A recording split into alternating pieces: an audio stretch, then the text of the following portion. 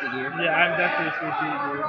If you say you like unsweet in the South, I'll Yeah, probably, we'll fight. they'll probably kick you out. Oh, probably. I couldn't know it. It's so nasty. How'd you do in college? Uh, pretty good. I um, national qualifier multiple times. Made it to the blood round. Lost every time. Yeah, I age deep. Like, their top guys are savage, but they're deep. There are a lot of the D1 guys that don't do as good. What weight you wrestle? Uh, 41 and 57. Red. Are you went straight from 41 and 57? Yeah. That's what I'm about to do. I'm, I'm about to go from 49 to 65. Yeah.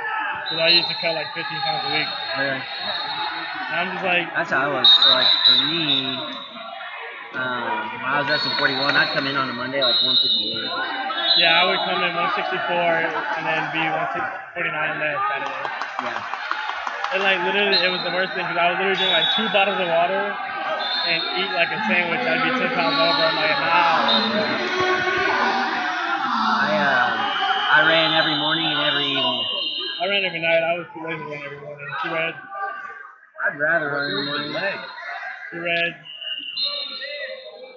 Is that, is That's too red, too red. Tech, tech, tech, tech. That's. No, that was that was me. I didn't see the third one. Yep. Thank you.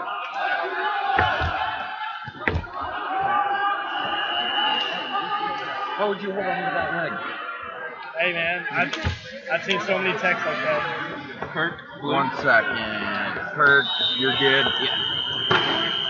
Good.